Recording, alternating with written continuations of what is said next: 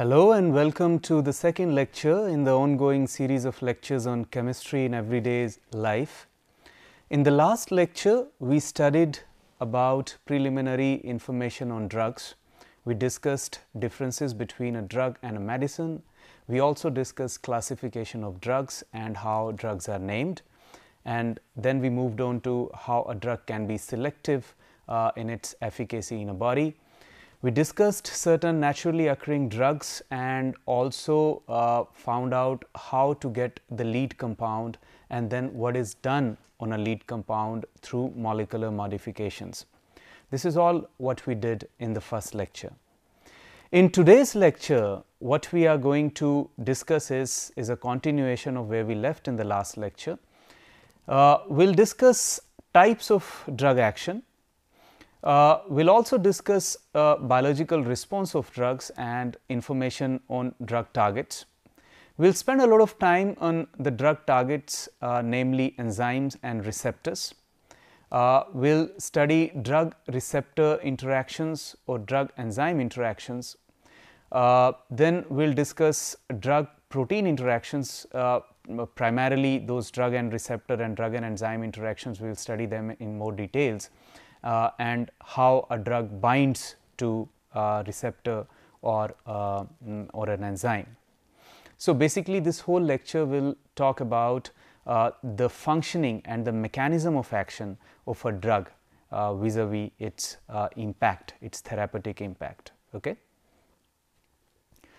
So, let us move on with this uh, uh, drug interaction uh, and how drugs act.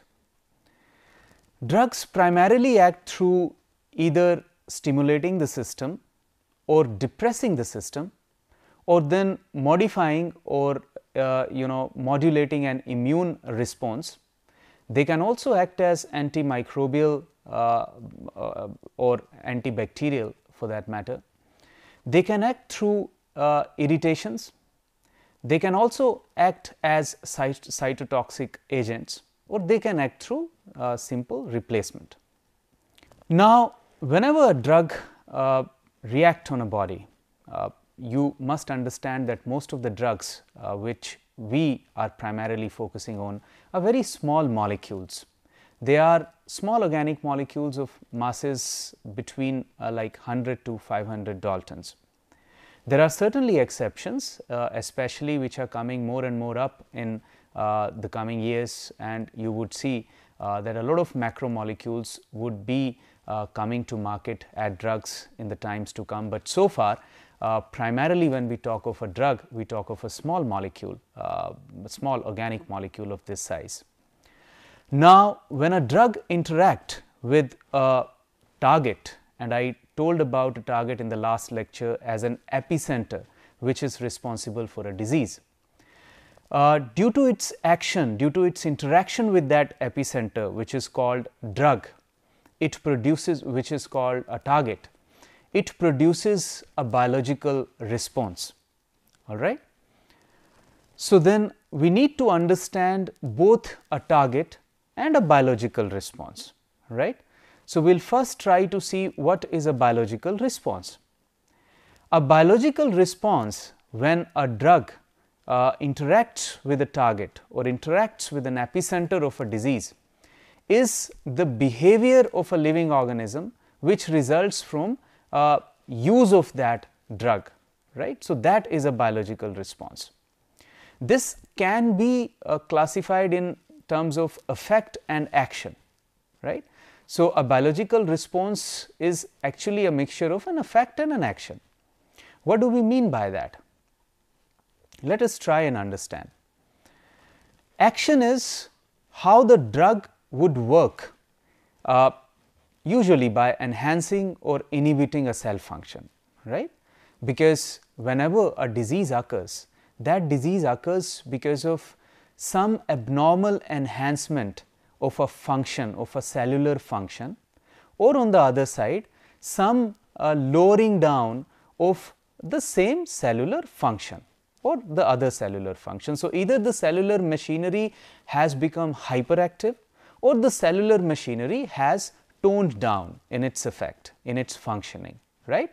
So, that is an action and then when the drug interacts with that particular epicenter or a target, the effect is the consequence of that drug re reacting or interacting on that uh, particular target and then change the course of that action right. Now, there is an example there is a uh, you know medicinal chemistry related example which I am going to discuss now for example aspirin you take aspirin as an analgesic right. So, it alleviates pain and it alleviates fever. So, how would that act aspirin when is taken inside the body it tends to block prostaglandin synthesis that is the action of the drug right? What is the effect of that action? Effect of that action is that a person suffering from pain will get relief. A person suffering from fever will get relief. So both these terms action and effect are collectively fall under biological uh, biological response. If I if I will try to draw an anecdote here or an analogy here, let us assume that uh, traffic in a place is blocked, is jammed because of let us say there is a car which is wrongly parked, right. So, jamming of a traffic is actually a disease, right, it can be construed as a disease. And it is because of that wrongly parked car so, that wrongly parked car is actually the epicenter, the genesis of that disease, right. So, which can be actually construed as a target. Now, how you would alleviate it? You need to probably look for a driver, that driver must occupy and uh, you know occupy the driver's seat in that car and try to correct the course, try to park it at the right place. Now, that driver is nothing but a drug. So, drivers taking a seat on the uh, you know in that car is an action whereas once he parks he or she parks the car in the right position in the right parking slot that is the effect because uh, as a result of that effect the person uh, the, the jam will be completely removed the person will be uh, completely uh, cured from the disease right so this is what we mean by biological response so, now it is important that we discuss the first part which is drug target. What is this epicenter I have been talking about right in the last lecture and in this lecture as well. So, this epicenter or a drug target is anything within a living organism to which a drug is directed or a drug binds to it resulting in a change in its behavior or function. Whose behavior or function? drug targets behavior or function because it is the malfunctioning of that particular target which is causing a disease. So, that needs to correct and that will be corrected only when a drug will bind to that particular target, right. So, it is as simple as that. When we talk about drug target, most of the drug targets uh, we encounter are actually proteins and I hope you are all aware of what proteins are that has already been taught to you in other series of lectures. Proteins constitute enzymes, they constitute receptors, they constitute transporters, ion channels and cytoskeletal proteins. So, all of these are the drug targets primarily which are actually proteinaceous in nature.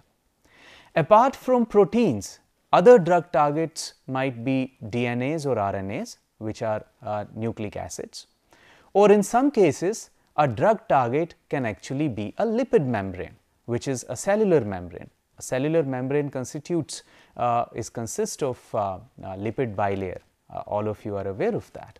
So, that lipid bilayer also can sometime act as a drug target and sometime it can be miscellaneous in very rare circumstances. Uh, the, the disease might have caused due to uh, certain metabolites, certain bone matrices and certain physiochemical substrates. Now, if we look at this, this pie diagram here, you can easily see the present situation as far as drugs and the targets are concerned. You would note that around 36 percent here and 38 percent here are actually the targets which are proteinaceous, G protein coupled receptors, they are very specialized, super specialized class of receptors, which had been uh, you know not uh, quite recently found out. And within a very short period of span they have become the major target of interest as they have been found to be the root cause of many of the diseases. So, around 36 percent of the diseases uh, stem through some malfunctioning of G protein coupled receptors.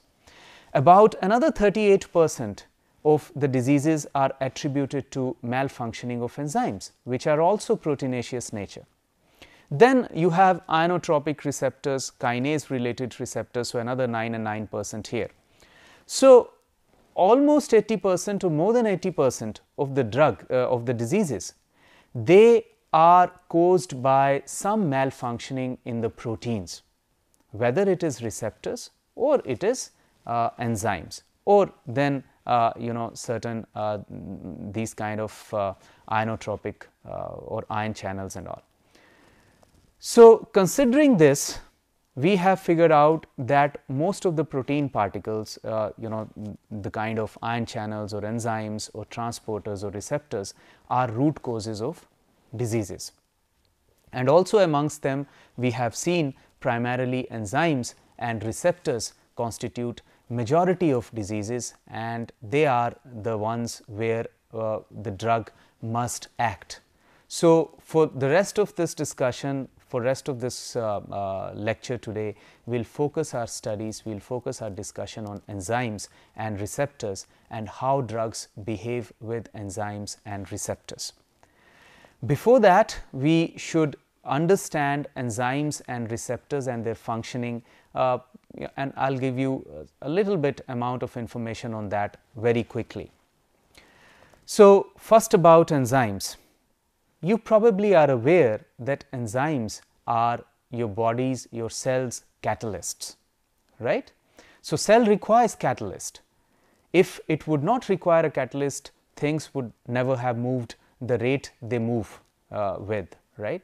For example, just to demonstrate this, I will give you again uh, a certain analogy and that analogy is uh, if you for example, if you keep a bottle of sugar right that is found in the kitchen cabinets in almost every household. How long can that bottle store a sugar without disturbing?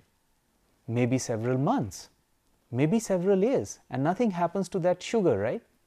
But as soon as that sugar is taken inside the body, that sugar changes it changes to corresponding glucose molecules. Those glucose molecules then provide ATP in no time, carbon dioxide is generated and water is generated and everything is done, right.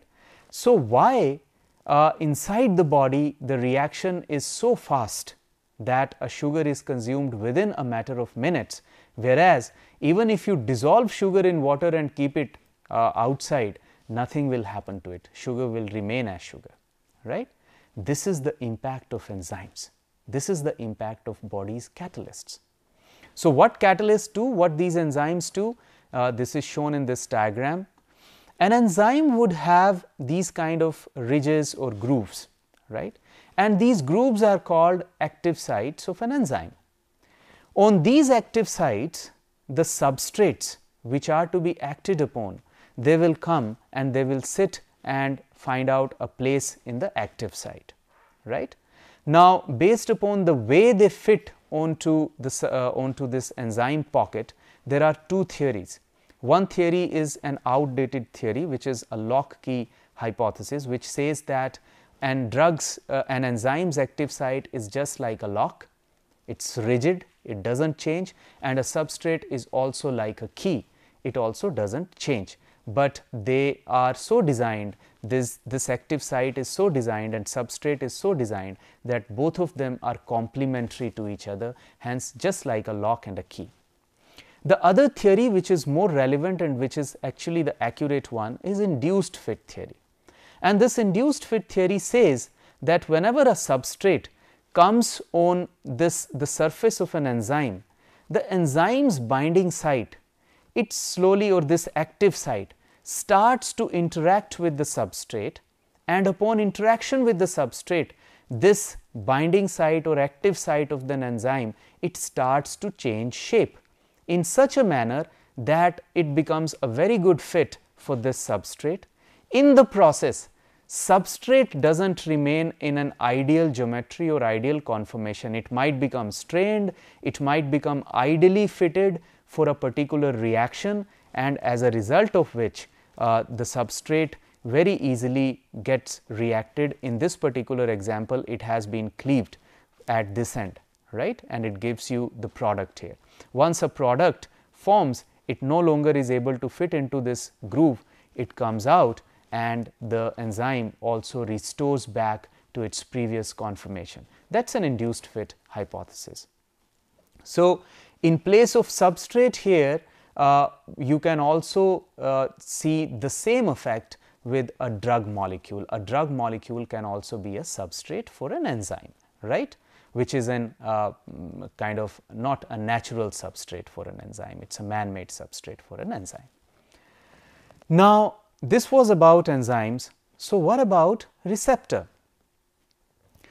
Well, receptor is also a protein molecule as I told you, it is a macromolecule, it is a protein molecule, polypeptide molecule and it is present on the surface of the cell, surface of the cellular membrane. Now, why would you require proteinaceous materials on the surface of a cellular membrane? Let me give you an example and you would tend to realize and appreciate why it is so, uh, so pressive that we should have a receptor on the cellular surface. Let us consider your heart cells, right, the muscle cells of heart. There are you know thousands of muscle cells which uh, in the heart which need to contract and dilate exactly at the same time right? If they don't dilate and contract at the same time heart will be just a mess right? Now how would every cell know that it has to contract just now and relax you know let us say half a second later this happens and this can only happen if all the cells living in a close vicinity will get some sort of a messenger, some sort of an mail, right, some sort of a postman which will intimate all the cells at one time that okay look this is the time you will contract, this is the time you will all uh, you know relax. This uh, simple this postman is nothing but a messenger molecule. Messenger molecules can be in the, in the form of neurotransmitters, they can come from nerves or these messenger molecules can also be in the form of hormones, right. So, for example, when somebody sees uh, a danger outside, so then immediately a hormone from uh, uh, you know uh, medulla oblongata it is released and that hormone is adrenaline and then that adrenaline uh, reaches the cells and it tells the heart to pump faster. All the molecules they start to pump faster at one time, right. So, that is the postman, the postman is adrenaline and then the modulator for this is uh, that part of the brain which is actually controlling this whole activity. So, the point I am trying to make is cell needs to survive in its surrounding. So, in order to interact, in order to survive in the surrounding, it needs to interact with its uh, neighborhood right and it requires these kind of messenger molecules through which it interacts and uh, uh, you know uh, it does the functions uh, with uh, alongside with the neighborhood cells right. So, then for this purpose you need those messenger molecules and those messenger molecules then are received by what we call our receptors so, this is a reason why receptors are present on a cellular surface. So, they receive the messenger molecules and act accordingly. Again as far as functioning of receptors is concerned, it is similar to what we saw in the case of enzymes. A messenger molecule look at here would approach a receptor and as soon as it fits into the groove of a receptor, look at the change in receptor geometry right. So, we are talking about an induced fit here the same way as we talked about in case of enzymes. And once the effect is generated, once uh, whatever receptor had to do it has done, then this messenger molecule will leave the receptor, right.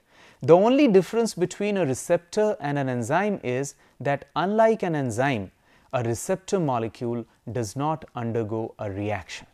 It only sends a message to the cell to act accordingly. Whatever the messenger molecule has told the cell to do, it tells to the receptor and receptor communicates that information to the cell to act accordingly, right. Now, how would a receptor tell the cell and what it will do to make the cell work accordingly, accordingly to the function, to the message it has received through the messenger molecules. There are two ways in which a receptor can act. A receptor can act through modulating what we call ion channels or it can also modulate membrane bound enzymes, right. So, let us look at how a receptor can modulate an ion channel. Uh, I hope you are all aware of ion channels. If not, then ion channels are kind of these kind of transverse proteins which uh, sit across the cellular membrane, right. So, since these are proteins and this kind of inner surface is quite polar, they are able to uh, facilitate movement of ions within the cell and within the cell to outside the cell or from outside the cell to within the cell. So, they uh, facilitate movement of ion across the cellular membrane and that is very important for a plethora of activities of cell. For example, every nerve response is basically polarization and depolarization process in which uh, you know this kind of uh, uh, uh removing of certain ions or coming out of coming in of certain ions is a crucial activity right. So, let us say a receptor has received a response there is a messenger molecule it has reached a receptor and this receptor is just present at the ion channel in such a way that it is acting just like a gate of the ion channel right. So, in this it in its native conformation in its relaxed conformation it is manning the gate it is not allowing any uh, interaction of the ions from outside to inside or from inside to outside right. Now, as soon as the messenger molecule comes in and it fits into the receptor, because of the induced fit mechanism, receptor changes a shape. And because it changes its shape, there is a corresponding change in the ion channel uh, gate and this gate opens up and the moment it opens up it facilitates movement of ions and then the simple signal which it received gets multiplied many folds because one molecule one messenger molecule becomes responsible for exchange of let us say thousands of ions in a flash of time right.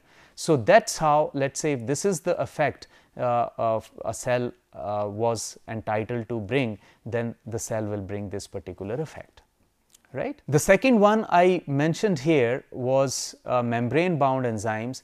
So, just like ion channel sometimes these receptors once they receive a messenger they change the shape and because they change their shape their changing shape can also influence certain enzymes inside the cell to perform to activate or get deactivated right. So, that is another way how a receptor molecule can function. So, as I told you drugs will primarily react with either receptors or enzymes. So, after having seen how these enzymes and how these uh, uh receptors uh, they behave with uh, their corresponding substrates or messenger molecules, it is important now to understand what a drug will do to them, right. But before we know that, we also should understand since these are proteinaceous in nature both receptors and enzymes we should also know their configuration so that it will make us easy to predict how a drug will react or interact with uh, with them whether it is receptors or, or enzymes. So, again all of you know this fact very well an enzyme or a receptor or any protein for that matter is a polypeptide and these polypeptides they do not just stay like that they orient in what we call as secondary structures. These secondary structures could be alpha helix or these could be beta pleated sheets right. So, now based upon uh, this secondary structure they become further twined or intertwined and become very complex 3 dimensional molecules and those 3 dimensional molecules are actually give a protein its particular shape whether it is fibr whether it is globular or whatever right. So, this 3 dimensional structure is uh, because of uh, intertwining and mixing of all those secondary structures inside, inside as you could see here. Now, we should understand and I think you know that why this tertiary structure is stable or it is it acquires the shape uh, it finally acquires. Uh, and that is because of these type of secondary interactions between the residues of uh, these polypeptide chains. So, these secondary interactions could be ionic interactions like here these secondary interactions could be covalent interactions like here between sulfur sulfur. These secondary interactions could be hydrophobic interactions and these secondary interactions could be hydrogen bond interactions. All of these interactions are quite feeble barring maybe ionic interactions and uh, covalent interactions, but nevertheless these interactions play a major role uh, in order to stabilize a three dimensional structure of a protein particle right. Well, sometimes a protein is constituted not by a single polypeptide, it is constituted by two or more than two polypeptides. In that case, both the polypeptide acquires their corresponding three dimensional shape and then they mix together and they give a quaternary structure to a particular protein. Right. So, in this case for example, the upper half is one polypeptide alpha chain and the lower half is another polypeptide chain which is beta chain. Right. So, now knowing the structure of a protein, we now should understand how a drug is going to interact with a particular protein. In order to understand that, we should again go back and try to understand a few terms. The first term is about the targets and I have repeatedly told them that uh, told you that these targets are actually macromolecules, they are proteinaceous in nature mostly and the examples we are following are uh, receptors and enzymes. Now, a drug is supposed to interact with its target whether it is a receptor or it is an enzyme by binding to its binding site. Now, I spoke about when I was talking about the enzymes or I was talking about receptors, I was showing you those grooves right and those grooves are nothing but they are the binding sites they have the required uh, conformation in which a drug molecule uh, can actually interact with that particular target. Binding sites are typically hydrophobic pockets on the surface of macromolecules. Now, that is an important aspect. A binding site that groove I spoke about are generally hydrophobic. Now, why should nature made binding sites hydrophobic? The simple, uh, uh, you know, the simple reason for this is probably to keep water away. You must understand that a protein molecule, whether it is a receptor or an enzyme, is thriving in an aqueous environment all the time, right? But then aqueous environment is not good for reactions. Let us say an enzyme has to undergo a nucleophilic uh, or facilitate a nucleophilic reaction, then water molecules can actually act as, an, uh, as, a, as a nucleophile in that reaction, right. So, it would not require water molecule within its active sites. So, in order to keep water away, generally these binding sites are housed or these are flanked by hydrophobic residues and those hydrophobic residues since these are water repelling they would not let water come inside the binding pocket. So, that the molecules can easily uh, find a place inside the cavity and they can react and bind uh, with the target. Binding interactions typically involve intermolecular bonds and these interactions we will see in a short while. How a drug molecule interacts with that binding site in a target. Okay. Binding groups are the functional groups on the drug which involve in binding interaction. So, corresponding to binding site there are binding groups in a drug. So, there is an interaction between a binding group and a binding site. So, these binding sites and binding groups should be complementary to each other right only then a drug molecule can fit well into the binding site. These binding regions are specific region within the binding site that are involved in binding interaction and then most of the drugs are actually in equilibrium between being bound and unbound to the target. So, that is actually a case where uh, you know every time this is an equilibrium process. So, every time a drug molecule tends to bind to a particular target uh, unless it is binding uh, in uh, irreversible manner, you will always find that there is some concentration of unbound drug and there is some concentration of a bound drug. Let us understand this fact now in some more details. So, when we speak about uh, intermolecular bonding forces, the kind of forces which keep a drug bound to a particular receptor or an enzyme. We talk about the uh, intermolecular forces as electrostatic or ionic forces. We talk about hydrogen bonding forces. We talk about van der Waal forces. We talk about dipole dipole interactions or other induced dipole interactions. Now, in the following slides, uh, I will try to explain these uh, in little bit of further details. For example, electrostatic or ionic forces. Now, with every such uh, interaction there is a corresponding diagram here to make uh, uh, you know this whole thing simpler uh, to understand.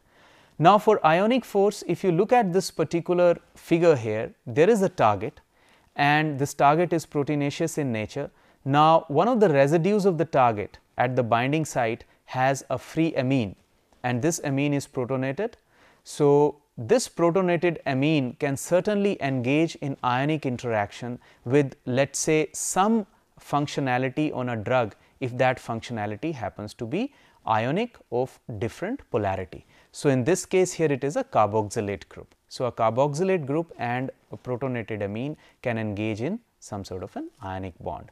So, these interactions are quite strong. They take place between groups of opposite charges. The strength of ionic interaction is inversely proportional to distance between the two charged groups.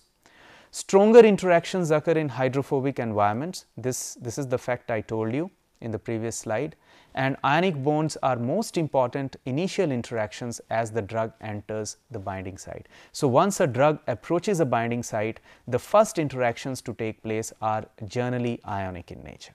Okay. Let us move on to the second one here. The second one is hydrogen bonding. They are not so strong in strength in comparison to ionic strength, although these are very important uh, interactions taking place uh, between the binding site and the binding groups of a drug. A hydrogen bond as you all know can take place between an electron deficient hydrogen and an electron rich heteroatom. That heteroatom could be nitrogen or oxygen.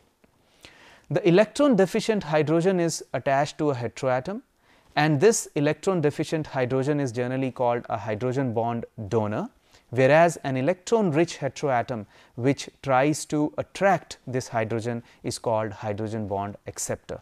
So, in this diagram you could see an image in which the target which can be a receptor or an, or an enzyme contains an electron rich heteroatom. It could be nitrogen, it could be oxygen. So, for example, if it is a serine residue, you could consider that it contains oxygen with a lone pair, right.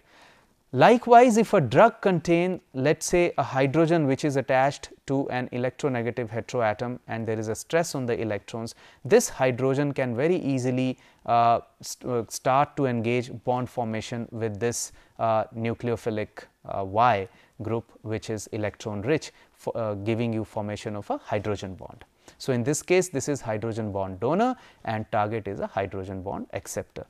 It can be vice versa wherein target can be hydrogen bond donor and your drug can be hydrogen bond acceptor. Then we move on to van der Waal interactions. These are actually very feeble interactions. Uh, very small energy is uh, released as a result of this interaction and this occurs between hydrophobic regions of drug and target. Basically van der Waal forces are hydrophobic interactions and how do they happen? They happen uh, the way it can be shown here. as and when a drug molecule enters the binding pocket, there are certain pockets of that drug, there are certain regions of that drug which are hydrophobic. Likewise, you might find complementary uh, hydrophobic regions in the binding site. Now, once they come uh, in close proximity, there are certain polarizations, right?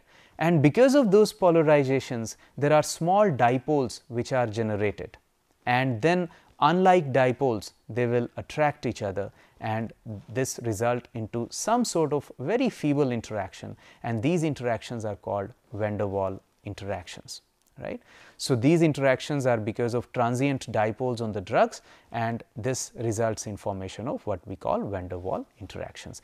These interactions are very feeble, they have very small energy of stabilization, but at the same time they are amongst the most important interactions you will encounter between a drug and its binding site. Okay. And lastly, there are these dipole-dipole interactions. Let us assume that the binding pocket, the binding site of a target actually contains a permanent dipole moment. And likewise you also have a substrate or a drug molecule which contains a permanent dipole moment, then there is always a chance of interaction between the two uh, uh, due to dipole dipole interactions. And there is this kind of stabilization which occurs. So, it will change conformation, it will orient in a way uh, to maximize this interaction here resulting in formation of this dipole dipole um, bonds. So, now after discussing all of that let me just revise uh, what we studied in this drug binding to a particular target. So, what we saw here is uh, a drug target as a receptor or an enzyme, a macromolecule which contains certain regions, certain hydrophobic regions and these hydrophobic regions or groups are called the binding sites. Then the, in this binding site a drug molecule will approach and comes in close proximity Eventually, there would be some drug molecules which will find a way to enter this groove and bind with that uh, particular active site and some will remain in an unbound uh, uh, manner or unbound state. There is an equilibrium between the two states at any given time, right. If I zoom into this portion what I get? I find that uh, within this groove where drug is settling down and it is interacting with this binding site, I would note and I would see that there are certain red regions called binding regions in the uh, protein part and you also have corresponding binding groups on the drug. So, when you have a complementarity, complementarity achieved here between the two, this would result in certain intermolecular bonds. These intermolecular bonds could be very feeble as van der Waal bonds, these could be very strong as covalent bonds or ionic bonds or could be of an average kind average strength like hydrogen bonds. So, based upon every such bond formed there is a stabilization right because there is energy released there is a corresponding stabilization achieved in, for this structure right and that is how a drug is going to bind to a particular receptor. Uh, this is what will happen here and I am going to now describe a binding site in a little bit more realistic purview to you. So, this is an active site or a binding site of a uh, let us say a receptor or an enzyme, a target, right? okay, a, a proteinaceous target. So, what are you seeing here?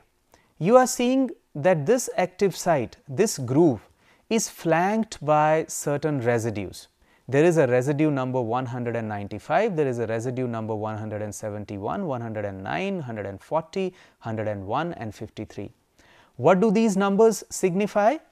These numbers signify the order of their uh, uh, you know their amino acid residue. So, this is 195th amino acid, this is 171st amino acid in that polypeptide chain. Okay. If you count that polypeptide chain let us say from N terminal to C terminal, this will come at 195th position, this will come at 171 position, at 109 position. This also tells you why three dimensional tertiary structure is very important simply because had it not been for tertiary structure or that intertwining, you would not see 171st group in close proximity to 195th group. And then that would not have uh, very effectively created an active site. So, that is why this intertwining and this mixing of secondary structure to give tertiary structure is very important. Okay. Now, what else you see? The other thing to note here is some of the residues are actually quite polar. They can they are also susceptible to engage in hydro uh, engage in ionic interactions. For example, this residue aspartic acid. So, it can engage in ionic interactions. There would be a negative charge here. Likewise, certain uh, uh, groups like arginine here can result in let us say hydrogen bond interactions and here also you have histidine which can engage in hydrogen bond interactions also and in this binding pocket we do not see any group here which can uh, actually undergo van der Waal interaction right, but uh, the same thing can happen. There, there might be certain groups let us say phenylalanine uh, if let us say phenylalanine is here it will engage in uh, hydrophobic interactions or van der Waal interactions with the drug or any substrate right. So, that is how an active site of an enzyme is made or designed right or is uh, it stays there. Now, I am giving you an example, a hypothetical example of a substrate binding, right. So, looking at a substrate, you can probably foresee what type of active uh, binding site or an active site should look like in that particular enzyme or a receptor. Here I am talking about a molecule called pyruvic acid, which is uh, converted into lactic acid using an enzyme lactic dehydrogenase, lactic acid dehydrogenase. Now, if you look at this pyruvic acid, you would note that it contains this region which is amenable to van der Waal interactions. It contains this region which is amenable to hydrogen bond interactions and it contains this region which is amenable to ionic bond interactions. So, if we have to kind of draw or figure out what type of active site would be available for this molecule, we can probably see that if this molecule sits in an active site like this, there should be a hydrogen bond susceptible residue here, hydrophobic susceptible residue here and ionic uh, bond susceptible forming uh, residue here. So, you should have a lysine here you can have phenylalanine here, you can have serine here, right. So, this kind of understanding is extremely important for a medicinal chemist in order to understand how a drug will behave uh, inside the active moiety, right. So, and this also explains the induced fit mechanism. Let us say once this molecule sits here, this serine residue was placed somewhere here. So, because of these two interactions, uh, the molecule is able to find a way and sits here. But the moment it sits here, this serine residue will also start to change shape a little bit, try to come closer to this oxygen here, so that it can engage in hydrogen bonds. So, this is how an enzyme active site is very dynamic uh, and it changes shape, right. Now, so far we studied how an enzyme and receptors will bind to a particular drug molecule. Now, in the last portion of this discussion, let me tell you about the effect which this type of binding will uh, bring about. So, let us look at the effect on a receptor, right. What happens to a receptor when uh, a drug molecule reacts on a receptor? So, you must understand that under a pathological condition, under a diseased condition, a receptor has either become overheated, it means there are too many messengers which are actually acting, which are hitting that receptor, or at the same time this receptor might have become sluggish. So, it means the number of receptors are less. Based upon that, a drug can actually act as an antagonist or an agonist. Okay? What do we mean by that? If a drug is acting as an agonist, then it means it is binding to the receptor and activating that receptor to produce a biological response. So, it is kind of uh, you know uh, replacing the substrate, replacing the messengers and trying to fill the gap since there are less messengers it is trying to fill the gap and making this enzyme making this receptor function even better right. This is an agonistic uh, reaction. An antagonistic effect is when a drug binds to a receptor, but it does not activate. Rather it blocks the activity of the agonist. So, what happens is once an antagonist comes here it binds to the uh, receptor. It blocks that receptor for any other messenger to come. So, if there is an hyperactivity here then blocking of the particular receptor will try to cool down uh, that particular uh, receptor and its effect all right. When we talk about enzymes and effects of drugs on enzyme we generally talk about the effect of enzyme in these three uh, forms. It is a competitive inhibition caused by drugs or it is non-competitive inhibition caused by drugs or it can be allosteric inhibition. Let us try to understand uh, all the three one by one. What we mean by competitive inhibition is, let us say there is an enzyme and it has a natural substrate here, right. Now, if you give a lot of drug, if you give drug molecules in and those drug molecules come in the vicinity of that enzyme, they start to comparatively uh, replace this substrate. Okay. So, if based upon concentrations, if concentration of drug is more, you will see that more and more substrate will be displaced and in its place drug molecule will fit into enzyme. As the drug fits into enzyme, it is no longer able to uh, act on this substrate and bring about the required reaction. So, this is about competitive inhibition and I am going to give you a very uh, good example and that example is toxicity caused by ethylene glycol or antifreeze. So, if an antifreeze if a person has somehow mistakenly consumed uh, ethylene glycol that ethylene glycol uh, actually acts upon this enzyme alcohol dehydrogenase and finally through series of reactions it produces oxalic acid that oxalic acid is actually not good for the body is, is extremely toxic. So, you know this what we want is that this ethylene glycol should not uh, act should not bind to this enzyme here right.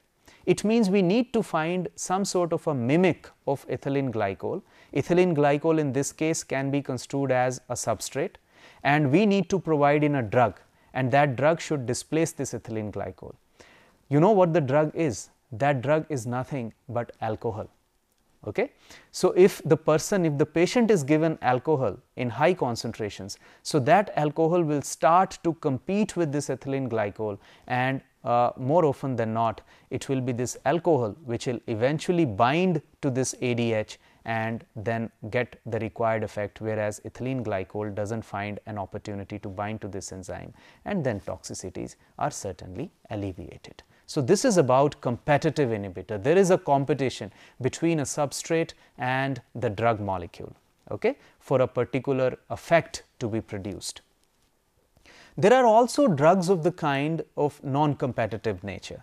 So, when we talk of non-competitive nature, it is shown here the drug molecule comes in and fits to the active site, but then the drug molecule engages in a covalent bond with one of the active one of the residues in the active site. In this case there is a nucleophilic substitution reaction here between this chloro and this hydroxy group uh, resulting in formation of a covalent bond here and once a covalent bond establishes this enzyme is permanently frozen right. So, once it is permanently frozen there is no competition that enzyme is completely gone and most of the deadly poisons for example nerve gas for example antibiotics in for bacteria for example penicillin you know they all act through non competitive inhibitor. You must understand that for 1 lakh of let us say 1 lakh of substrate molecules there are maybe 10 or 15 enzyme molecules right since enzyme is a catalyst and you require catalysts in very small amount. So, if you bring in a drug molecule which is able to completely block the enzyme permanently, so it will destroy the enzyme forever and those 10 or 15 molecules destroyed in no time can kill the organism okay, or kill the uh, animal or kill the mammal uh, uh, wherever it is applied. There is another type of uh, inhibition also which is called non-competitive reversible inhibition.